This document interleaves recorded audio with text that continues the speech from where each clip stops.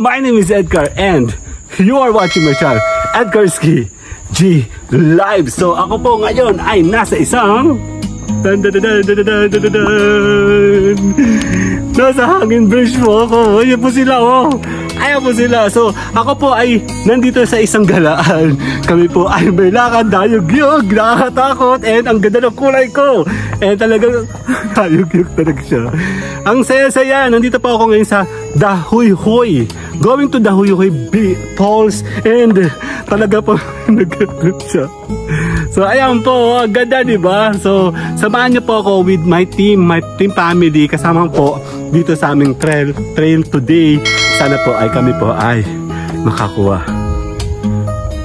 ng magagandang lugar dito po sa amin sa Quezon. Again, maraming salamat po. See you guys later.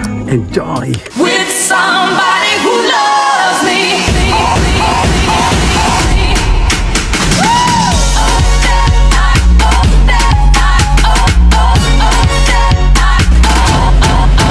Hello, my name is Edgar and you are watching my channel Edgar Ski.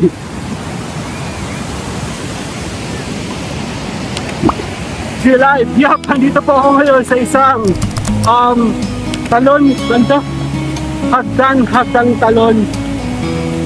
Ilog. Nandito po kami. Actually, naubusan po ako ng memory kanina and talaga sinusubukan ko po makakuha ng magandang shot po dito po sa aming next destination. Napakaganda po and ang hirap po ng trail doon sa bundok at naubusan po ako ng, ng at tanggal pa po ako ng mga applications. So panoorin po natin kung paano natin kukunan ang magandang lugar dito po sa Quezon. So see you guys later! With somebody who loves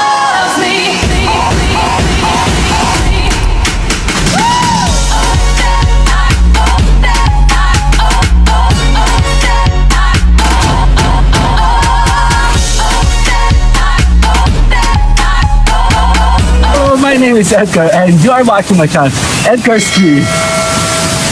Ngayon sa isang falls dito po sa may Mauban, Quezon, sa may aming pa rin po yun sa may Quezon. And kami po ng aking family and ang aking team, kami po ay decision pumunta dito. And para sa nga ba itong aking BTR? Yap, ito po ay para sa aking Tabayan Channel. Yap, tayo po namnamin natin ang saya, ang sarap dito po sa falls. Hindi siya kalaki yung falls pero napakaganda niya. Kung mapapansin niyo po, marami siyang yan po. So gustong gusto ko po talaga makakuha na at makagawa ng mga BTR na talagang kakaiba naman ang setup. Hindi lang po palagi sa bahay, hindi po palagi din sa may labas ng bahay.